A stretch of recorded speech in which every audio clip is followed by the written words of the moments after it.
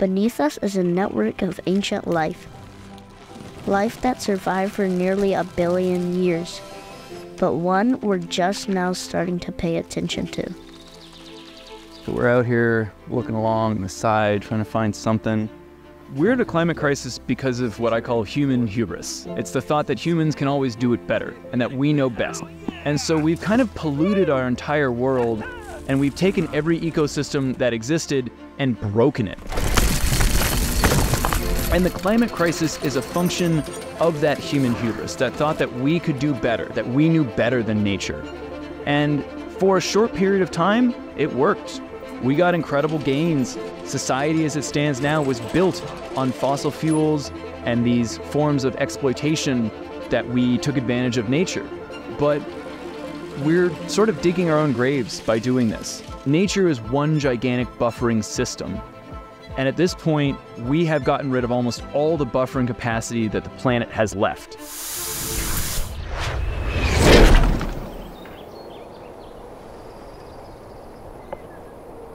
Fungi has been around for over a billion years and has been used by humans as food, medicine, and material, advancing cultures all over the world for centuries. But as time went on, our natural resources were pushed aside and dismissed in the name of modern industry, and a return to nature seemed like a step backwards. But a new generation of researchers and entrepreneurs are challenging that notion by simply wondering if some of the answers to the biggest problems we face can be found in something as unassuming as a mushroom. Hey Vance, you wanna walk with me? Let's go see if we can find something. Come here,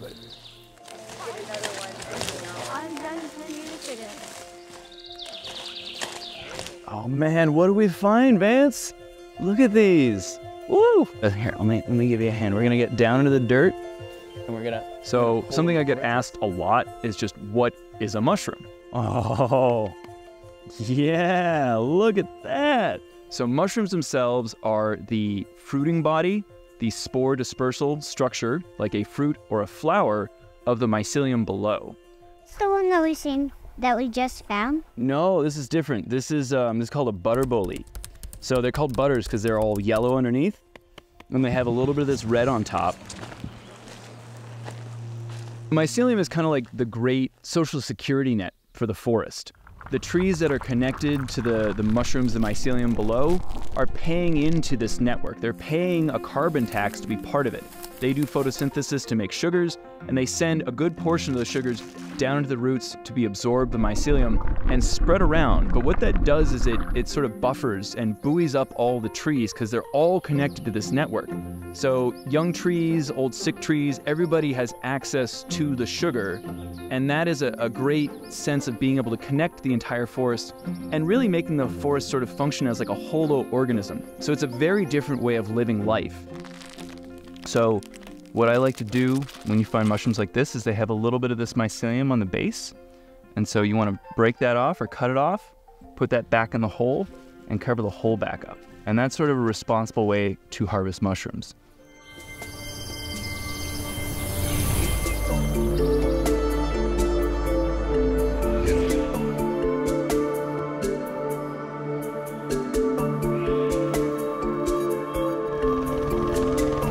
Because so much of what we've done to create climate change was bringing fossil fuels out of the ground, burning them, and pumping them all over our environment. So we have way too much carbon on this planet.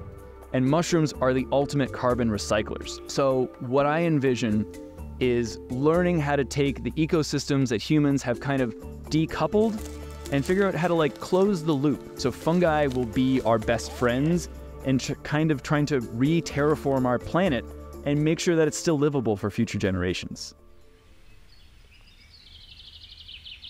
So my friend Mario Gabbiati is a rock star in the Bay Area mycology scene. He teaches classes, he leads workshops, he does koji salami. He's sort of he's a guy who wears a lot of different hats. I've known him for a couple of years now and just always turn to him when I have questions about fungi and I'm just so happy to have gotten a chance to know him and gotten to do some citizen science and outreach with him.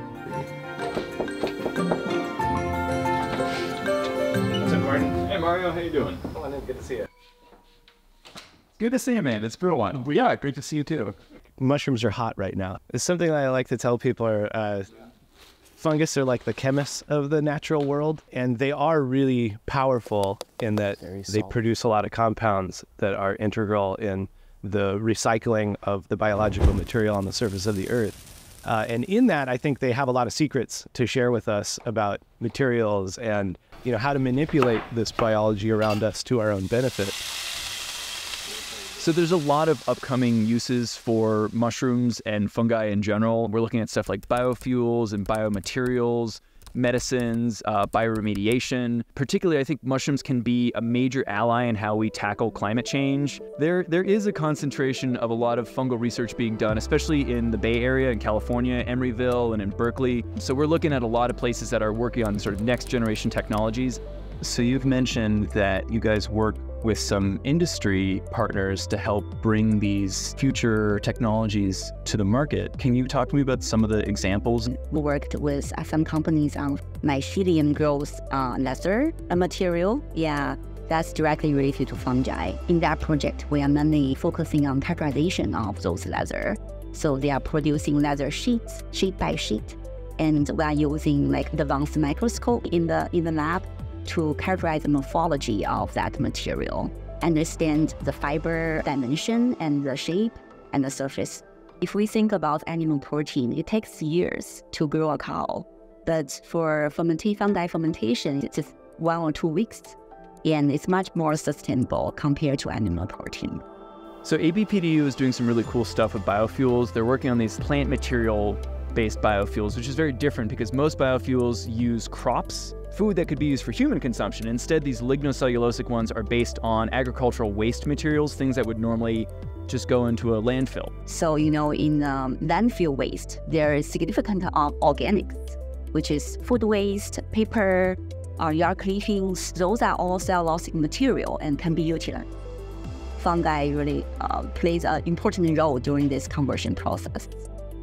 I think there is a sense of emergency for climate crisis. We are working very hard with industry to uh, reduce the greenhouse gas emission.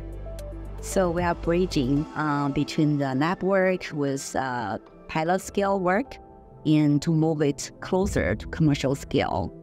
I don't know either. It looks like a morning glory flower though, which makes me wonder if it's our natural world has all of these amazing compounds that we're only now seeing that have this incredible value to like save us from our own selves. I mean, that's why I have such a great garden here. It's almost like a religious practice to like come out here and spend time in the garden and grow things that I can eat. And that in and of itself is kind of really rejuvenating to me. So I'm looking at your awesome garden here, and I know you've got tons of cool stuff going on with mushrooms. But what are you what are you up to in the lab these days? I've actually got some transfers I need to do. You want to take it for a spin? Yeah, let's go give it a shot. All right. This is a jar of Ganoderma, right? And this is what they use to make all the myco materials and the myco leathers. And you're telling me this is like super aggressive stuff? It's one of our most aggressive strains. In fact, I keep this one around because I can just pop the top off the jar and it'll fruit right out of the top. The structure of these mycelial threads in here uh, gives you a lot to work with.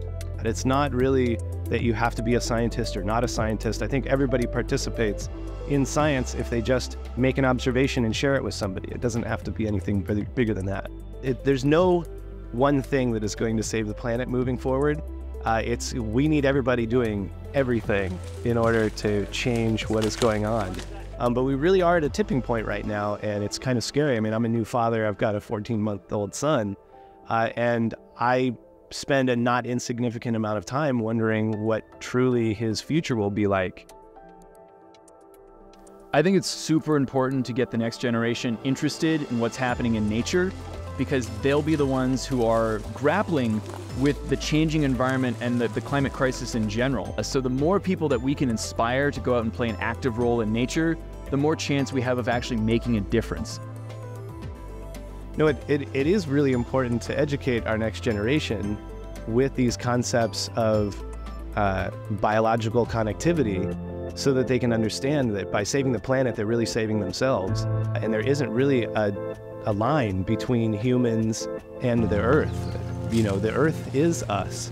So the deeper of a connection that we can give our young people with the planet, I think, is going to be the most important way that we can give them the power to save it. Understanding our connection to nature might just be the key we need to solve some of the biggest problems our planet is faced. So, with curiosity and wonder, we're learning to ask questions and maybe, just maybe, the answers we seek have been right beneath our feet the whole time.